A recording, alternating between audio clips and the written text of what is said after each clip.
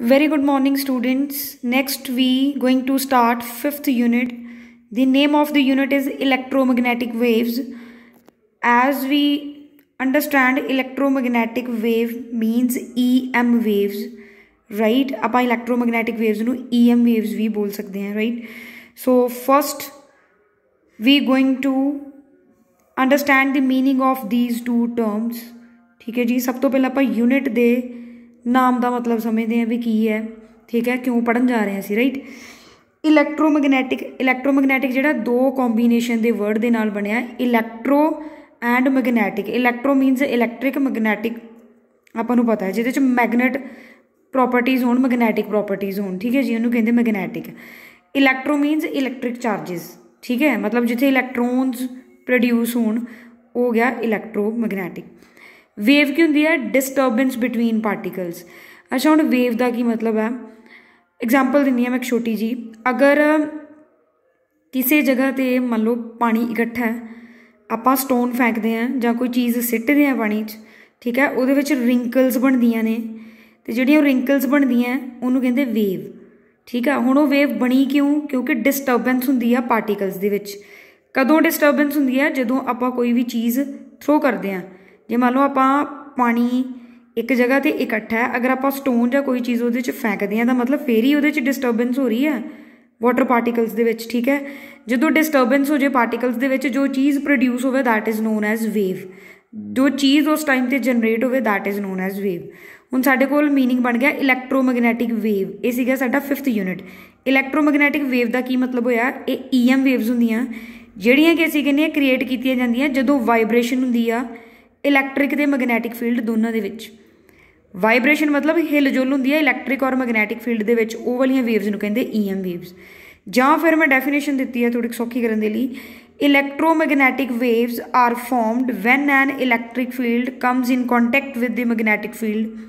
What it means? Electromagnetic waves ਉਦੋਂ produce ਹੁੰਦੀਆਂ, ਉਦੋਂ ਫਾਰਮ ਹੁੰਦੀਆਂ, ਉਦੋਂ ਬਣਦੀਆਂ, ਜਦੋਂ ਇਲੈਕਟ੍ਰਿਕ ਫੀਲਡ ਜਿਹੜਾ ਉਹ ਮੈਗਨੈਟਿਕ ਫੀਲਡ ਦੇ ਕੰਟੈਕਟ ਚ ਆਉਂਦਾ ਠੀਕ ਹੈ ਜੀ?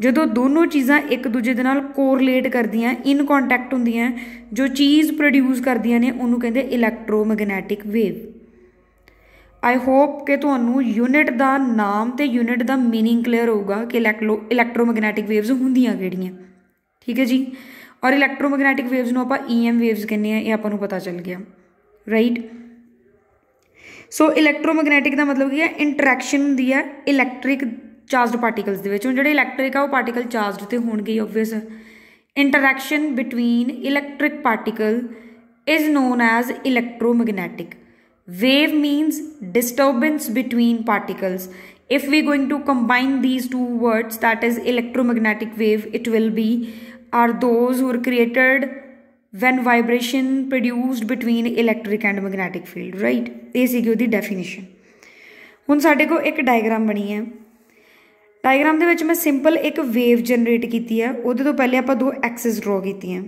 ਠੀਕ ਹੈ ਜੀ? ਇੱਕ ਸਾਈਡ ਨੂੰ ਆਪਾਂ ਲੈਨੇ ਆ ਮੈਗਨੈਟਿਕ ਫੀਲਡ ਪਰਪੈਂਡੀਕੂਲਰ ਸਾਈਡ ਤੇ ਅਸੀਂ ਲੈਨੇ ਆ ਇਲੈਕਟ੍ਰਿਕ ਫੀਲਡ ਉਹਦੇ ਤੇ ਇੱਕ ਵੇਵ ਜਿਹੜੀ ਉਹ ਟਰੇਸ ਕੀਤੀ ਹੈ ਪ੍ਰੋਡਿਊਸ ਕੀਤੀ ਹੈ, ਇੱਕ ਵੇਵ ਬਣਾਈ ਹੈ।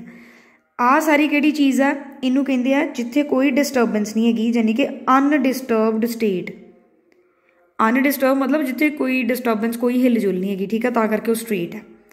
ਇਧਰ ਨੂੰ ਆਪਾਂ ਟਾਈਮ ਲੈਨੇ ਆ ਜਿੱਥੇ ਜਾ ਕੇ ਵੇਵ ਪ੍ਰੋਡਿਊਸ ਹੋਣਾ ਬੰਦ ਕਰ ਦਿੰਦੀ ਹੈ, ਉਹਨੂੰ ਕਹਿੰਦੇ ਰੈਸਟ ਪੋਜੀਸ਼ਨ ਜਿੱਥੋਂ ਸਟਾਰਟ ਹੁੰਦੀ ਆ ਉਹ ਹੁੰਦੀ ਆ ਮੂਵੇਬਲ ਪੋਜੀਸ਼ਨ ਠੀਕ ਹੈ ਯਾਨੀ ਕਿ ਮੋਸ਼ਨ ਦੀ ਕੇਸ ਹੁਣ ਜਦੋਂ ਵੇਵ ਜਨਰੇਟ ਹੁੰਦੀ ਆ, ਸਾਡੇ ਕੋਲ ਦੋ ਪਾਰਟਸ ਬਣਦੇ ਨੇ, ਧਿਆਨ ਨਾਲ ਦੇਖਿਓ। ਜਿਹੜਾ ਤੇ ਲੋਅਰ ਪਾਰਟ ਬਣਦਾ, ਉਹਨੂੰ ਅਸੀਂ ਕਹਿੰਦੇ ਆ ਟਰਫ ਜੋ ਅੱਪਰ ਪਾਰਟ ਬਣਦਾ, ਉਹਨੂੰ ਕਹਿੰਦੇ, ਅਸੀਂ ਕਹਿੰਦੇ ਆ ਕ੍ਰੈਸਟ ਲੋਅਰ ਪਾਰਟ ਕਿਹੜਾ? ਜਿਹੜਾ ਜਿਹੜੀ ਸੈਂਟਰ ਲਾਈਨ ਆ ਉਹਦੇ ਤੋਂ ਨੀਚੇ ਬਣਦਾ ਬਾਟਮ ਉਹ ਹੁੰਦਾ ਟਰਫ ਜੋ ਸੈਂਟਰ ਲਾਈਨ ਦੇ ਅੱਪਰ ਪੋਰਸ਼ਨ ਕ੍ਰੀਏਟ ਹੁੰਦਾ, ਉਹਨੂੰ ਕਹਿੰਦੇ ਕ੍ਰੈਸਟ ਅੱਛਾ ਜੀ, ਹੁਣ ਕੁਐਸਚਨ ਹੈ ਕਿ ਵੇਵ ਬਣਦੀ ਕਦੋਂ ਹੈ? ਇੱਕ ਟਰਫ ਤੇ ਕਰਸਟ ਮਿਲ ਕੇ ਇੱਕ ਵੇਵ ਜਨਰੇਟ ਕਰਦੇ ਆ। ਲਿਸਨ ਅਗੇਨ ਆਈ ਰਿਪੀਟ ਇੱਕ ਟਰਫ ਤੇ ਕਰਸਟ ਮਿਲ ਕੇ ਇੱਕ ਵੇਵ ਜਨਰੇਟ ਕਰਦੇ ਆ।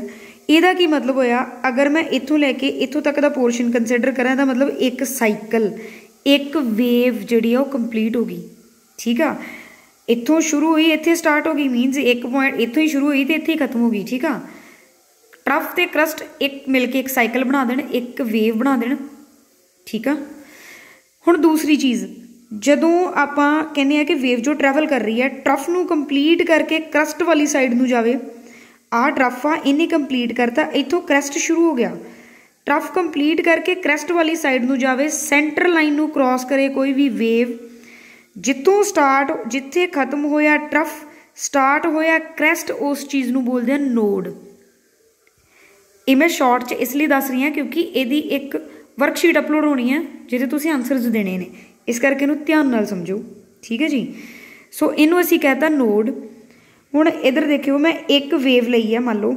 ਇੱਥੋਂ ਲੈ ਕੇ, ਇੱਥੋਂ ਤੱਕ ਮੈਂ ਜਿਹੜੀ ਚੀਜ਼ ਫਾਈਂਡ ਆਊਟ ਕੀਤੀ, ਉਹਨੂੰ ਮੈਂ ਕਹਤਾ ਵੇਵ ਲੈਂਥ ਵੇਵ ਲੈਂਥ ਕੀ ਹੁੰਦੀ ਹੈ? ਜਿਹੜੀ ਵੇਵ ਦੇ ਵਿੱਚ ਲੈਂਥ ਹੋਵੇ। ਇੱਕ ਵੇਵ ਆ ਬਣ ਗਈ, ਇੱਕ ਵੇਵ ਆ ਬਣ ਗਈ। ਦੋਨੋਂ ਵੇਵ ਦੀ ਜਿੰਨੀ ਲੈਂਥ ਆ, ਉਹਨੂੰ ਮੈਂ ਕਹਤਾ ਵੇਵ ਲੈਂਥ ਠੀਕ ਹੈ? ਸੋ ਵੇਵ ਲੈਂਥ ਨੂੰ ਅਸੀਂ ਲੈਮਡਾ ਨਾਲ ਡਿਨੋਟ ਕਰਦੇ ਹਾਂ। ਪੜ੍ਹਦੇ ਆ ਰਹੇ ਆ ਆਪਾਂ ਬੜੇ ਟਾਈਮ ਤੋਂ। ਦੂਸਰੀ ਚੀਜ਼, ਜਾਂ ਟਰਫ ਲੈ ਲਓ ਜਾਂ ਕਰਸਟ ਲੈ ਲਓ, ਜੋ ਮਰਜ਼ੀ ਲੈ ਲਓ। ਸੈਂਟਰ ਲਾਈਨ ਤੋਂ ਕਰਸਟ ਤੱਕ ਦਾ ਸੈਂਟਰ ਲਾਈਨ ਤੋਂ ਟਰਫ ਤੱਕ ਦਾ ਜਿਹੜਾ ਡਿਸਟੈਂਸ ਹੁੰਦਾ ਨਾ ਵਿੱਚ ਵਾਲੀ ਦੂਰੀ, ਉਹਨੂੰ ਕਹਿੰਦੇ ਐਂਪਲੀਟਿਊਡ ਐਂਪਲੀਟਿਊਡ ਦਾ ਮਤਲਬ ਹੁੰਦਾ ਮੈਕਸਿਮਮ ਡਿਸਪਲੇਸਮੈਂਟ ਠੀਕ ਹੈ ਜੀ? ਸੋ ਇਹ ਸੀਗੀ ਇੱਕ ਵੇਵ ਦੀ ਫਾਰਮੇਸ਼ਨ ਆਈ ਹੋਪ ਕਿ ਤੁਹਾਨੂੰ ਡਾਇਗਰਾਮੈਟਿਕਲੀ ਵੇਵ ਦੀ ਫਾਰਮੇਸ਼ਨ ਜਿਹੜੀ ਉਹ ਸਮਝ ਆ ਗਈ ਹੋਊਗੀ। ਈਐਮ ਵੇਵ ਮਤਲਬ ਇਲੈਕਟ੍ਰਿਕ ਤੇ ਮੈਗਨੈਟਿਕ ਵੇਵਸ ਆਪਾਂ ਲਈਆਂ ਨੇ। ਹੁਣ ਇੱਕ ਗੱਲ ਦਾ ਖਿਆਲ ਰੱਖਿਓ ਇਲੈਕਟ੍ਰਿਕ ਫੀਲਡ ਤੇ ਮੈਗਨੈਟਿਕ ਫੀਲਡ ਆਪਸ ਚ ਪਰਪੈਂਡੀਕੂਲਰ ਹੋਣਗੇ।